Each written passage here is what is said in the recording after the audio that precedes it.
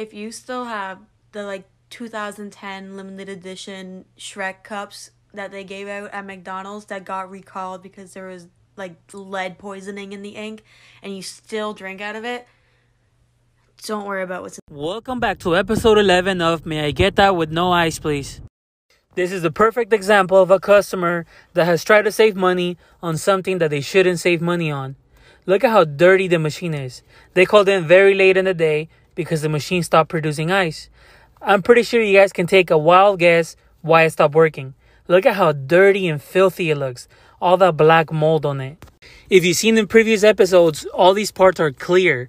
All these parts of the ice machine are clear parts. So we applied some chemical to remove all that all that scale. And yeah, it's a pain in the butt to get it cleaned out, to get it up to standard. But like if you've seen the other videos, we try our best to leave them as clean as possible because we want customers to be provided with clean ice. As you can see, it looks like a brand new machine. We cleaned it out completely, took it completely apart, got it all cleaned out. The parts look like brand new parts. This is where the ice was sitting on. We got that sanitized as well.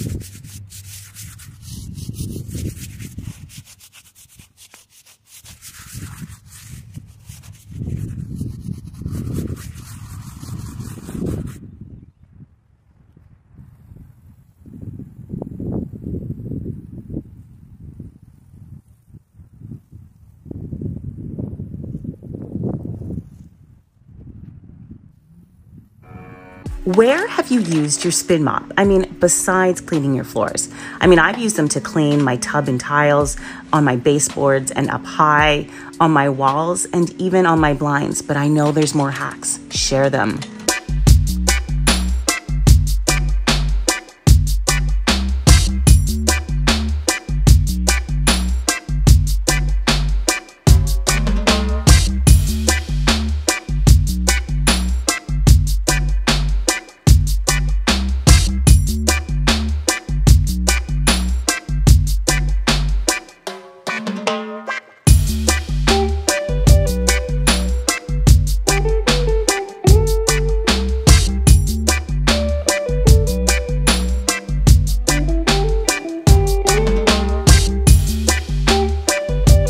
My art room sink with me part 1.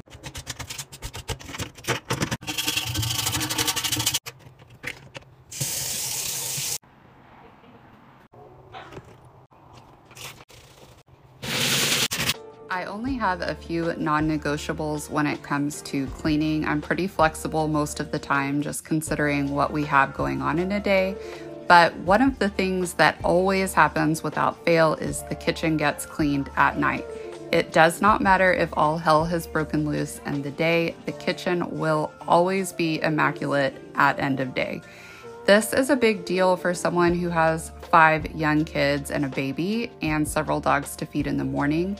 coming down to a clean kitchen really starts my day off in a very positive way. And I have to shout out my older daughter, who is such an invaluable help to me in all things. I love you.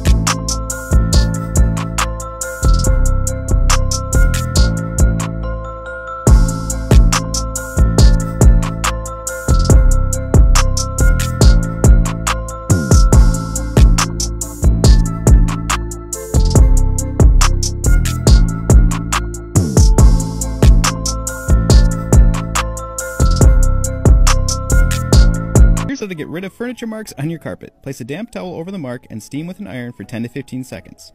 Remove the towel and gently groom with a fork and it's gone. Check out this before and after. Mix equal parts baking soda and hydrogen peroxide into a paste.